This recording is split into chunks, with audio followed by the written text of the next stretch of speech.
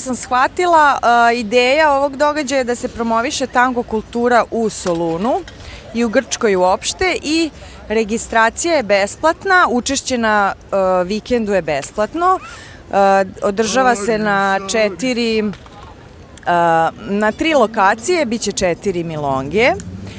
Večeras je kod statue Aleksandra Velikog, posle će biti u Arheološkom muzeju i na kraju u Mislim, dve milonge će biti u Arheološkom muzeju na otvorenom, a četvrta milonga se dešava u foajeu gradske skupštine.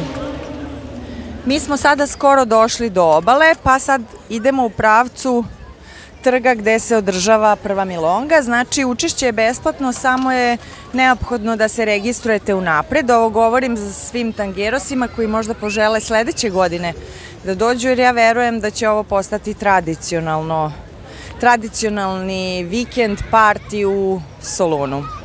Vidimo se!